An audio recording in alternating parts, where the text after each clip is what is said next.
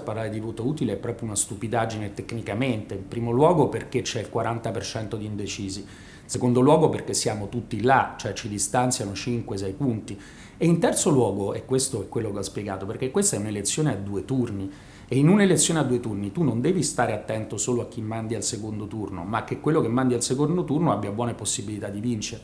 Ora se c'è una cosa che tutti quanti i sondaggi hanno sempre detto è che per ragioni banali, nel senso che essendo più trasversale degli altri ho più possibilità di vincere con chiunque al secondo turno. Quello che io ho semplicemente detto è ragionate bene, primo sul fatto che il voto utile deve essere utile a governare la città e va bene, e secondo sul fatto che deve essere utile per il secondo turno, perché se ci mandi poi qualcuno che viene sconfitto al secondo turno hai fatto veramente eh, la frittata perfetta, ecco, questo ecco. solo mi sono permesso e di dire. E chi viene sconfitto al secondo turno? Gualtieri per esempio? Chi è che, scusi, chi è che viene sconfitto al secondo turno? Qual è il suo ragionamento? Gualtieri? Beh, diciamo che tutti quanti sono molto testa a testa, no? eh, quello che abbiamo visto è che nel caso di Gualtieri e Michetti è proprio un testa a testa, viceversa quello che succede è che se ci vado io lo stacco molto Michetti. Allora, però, ripeto, la cosa importante per me è sempre dire che il voto è utile se uno crede in colui e nella squadra e nelle proposte che vota, altrimenti non è un voto utile. Dopodiché, quando ci sono i due turni, normalmente funziona che tu voti al primo turno la persona che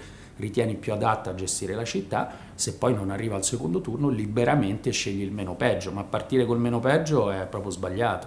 E non solo, allora, dico una cosa, se posso, il fatto che questo sia l'unico argomento che usano, cioè che non mettono in discussione il fatto che abbiamo lavorato di più, più profondamente, eccetera, ma il voto utile dimostra una fragilità dell'offerta politica.